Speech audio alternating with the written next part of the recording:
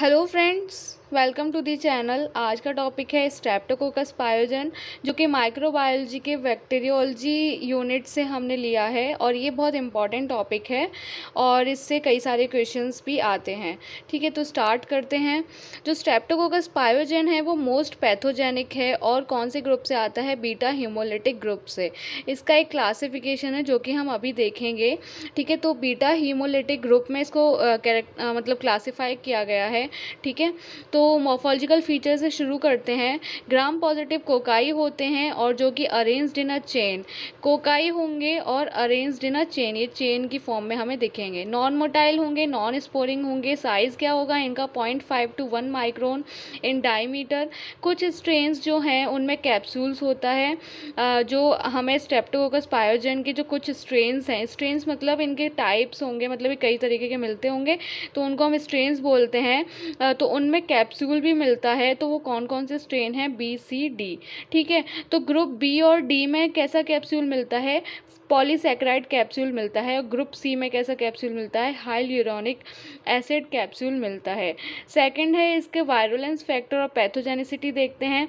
तो virulence factor में हम इसकी पहले सेल वॉल मतलब हम तीन तीन टाइप पढ़ेंगे मतलब वायरुलेंस फैक्टर जो है उसमें हम देखेंगे सेल वॉल टॉक्सिन और एंजाइम्स सेल वॉल में किस तरीके की वायरुलेंट मिलता है?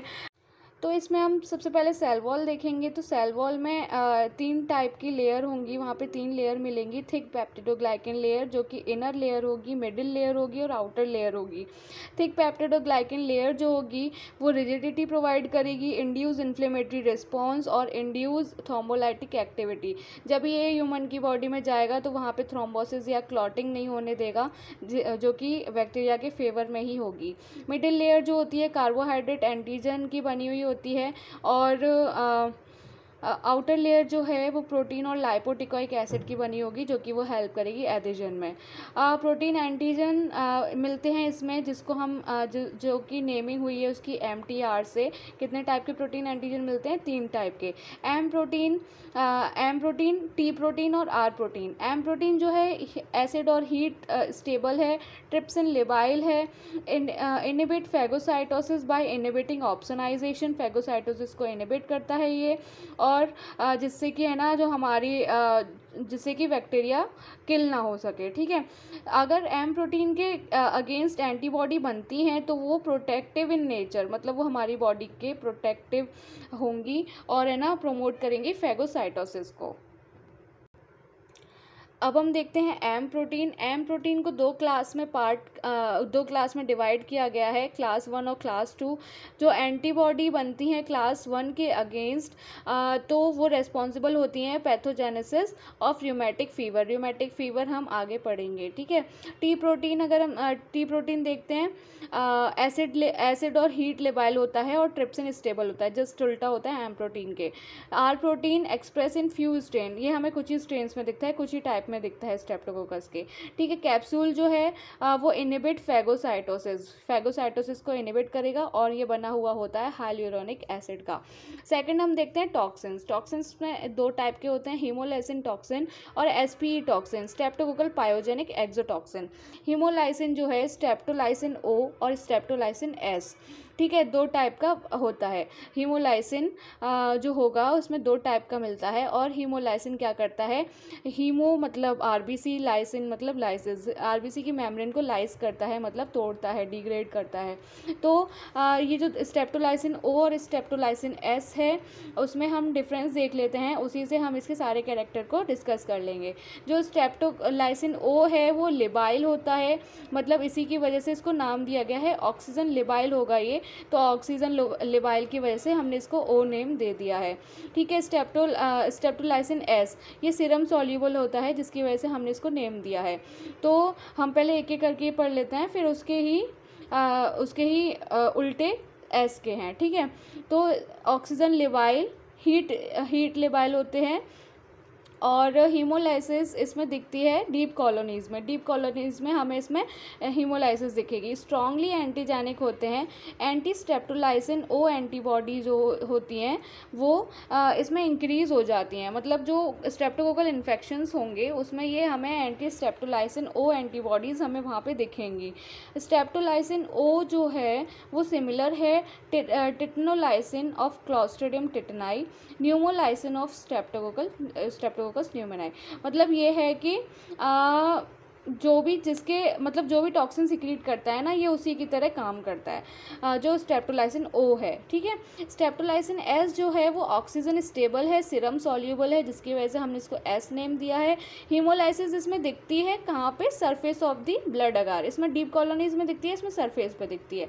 नॉन एंटीजेनिक है और ये सीरोलॉजिकल डायग्नोसिस में इसका कोई रोल नहीं है। एस पी टॉक्सिन देख लेते हैं स्टेप्टोकोकल स्टेप्टोकोकस पायरोजेनिक एक्जोटॉक्सिन ठीक है पायरोजेनिक है ये पायरो पायोजेनिक नहीं है।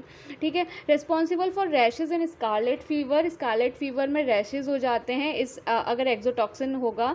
और ये पायरोजेनिक होता है मतलब फीवर कॉज करता है ये। और ये use in a Dick test Dick test which is which detect the susceptibility to scarlet fever causes क्या है? इसके इम्यूनो सप्रेशन में हेल्प मतलब इम्यूनोसप्रेशन करता है ये और increase sensitivity of host to streptococcus toxin third है इसका इंजाइम इसमें इंजाइम होते हैं streptokinase D nuclease hyaluronidase proteinase और एनेडिएज ठीक है? तो स्टेप्टोका स्टेप्टोकाइनेज जो होता है फाइब्रोनोलाइटिक एक्टिविटी शो करता है और responsible for spread of infection by preventing formation of fibrin मतलब क्या है कि स्टेप्टोकाइनेज स्टेप्टोकाइनेज का फ़ंक्शन क्या है? फाइब्रिनोलाइटिक एक्टिविटी करना।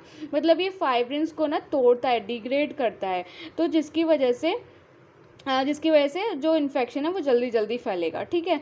और क्या है? डीऑक्सीराइबो न्यूक्लियस इसका दूसरा नाम है स्टेप्टोडोर्नेज ये क्या करता है? डीएनए को तोड़ता है। It degrades DNA that accumulates in pus है ना? पस में एक्यूमुलेट हो जाता है और फिर क्या करता है? Result in a disintegration of the neutrophils neutrophils को डिसइंटीग्रेट कर कर देता है। ठीक है? डीएनए का डीपॉलीमराइजेशन हो जाएगा। मतलब वो डिग्रेड होने लग जाएगा। इसके फोर टाइप्स होते हैं ए बी सी डी और हाईली यूरोनिडेज देखते हैं ये स्प्लिट करता है hyaluronic hyaluronic acid को। हाईली यूरोनिक एसिड को स्प्लिट uh, करेगा और ये एंटीजेनिक होता है। Antibody are formed after infection infection के बाद इसके अगेंस्ट एंटीबॉडीज़ बनने लग जाती हैं। अब हम देखते हैं क्लिनिकल फीचर क्लिनिकल फीचर में दो टाइप की ये इन्फेक्शन करता है सप्यूरेटिव और नॉन सप्यूरेटिव सप्यूरेटिव मतलब पस फॉर्मिंग नॉन सप्यूरेटिव मतलब नॉन पस फॉर्मिंग इसमें पस बनता है इसमें पस नहीं बनता. सप्यूरेटिव के आ, देख लेते हैं डिसीजेज तो सप्यूरेटिव इन्फेक्शन क्या क्या करता है? रेस्पिरेटरी इन्फेक्शन करेगा वो जिसमें फेरेंजाइटिस या सोट थ्रोट हो जाएगा निमोनिया एम्पाइमा हो जाएगा. ठीक है? स्किन और सॉफ्ट टिश्यू इन्फेक्शन भी करता है जिसमें एम्पैटिगो होता है और सेल्यूलाइट फेशियाइटिस होता है। डीप सॉफ्ट टिश्यू इन्फेक्शन होगा नेक्रोटाइजिंग फेशियाइटिस और टॉक्सिक शॉक शॉक सिंड्रोम होगा, ठीक है? उसमें स्कारलेट फीवर भी होगा। ये डीप सॉफ्ट टिश्यू इन्फेक्शन होते हैं। बैक्टीरिया बैक्टीरियमिया में टी एस एस मतलब टॉक्सिक शॉक सिंड्रोम ऑस्टियोमलाइटिस और मैनजाइटिस होगा। नॉन सप्योरेटिव इन्फेक्शन में हम देख लेते हैं acute rheumatic fever acute glomerulonephritis और रिएक्टिव अर्थराइटिस इनके बारे में हमें थोड़ा थोड़ा अगर हम क्लिनिकल फीचर कर रहे हैं तो हमें इसका थोड़ा थोड़ा लिखना पड़ेगा ठीक है? तो ये जो आ, हम इसके बारे में थोड़ा थोड़ा देखेंगे सब तो ये जो है हम नेक्स्ट पार्ट में डिस्कस करेंगे। तो आ, आप नेक्स्ट पार्ट को भी देखना तभी ये टॉपिक पूरा हो जाएगा जिसमें लैब डायग्नोसिस भी है ठीक है? तो thank you for watching the lecture wait for the part two thank you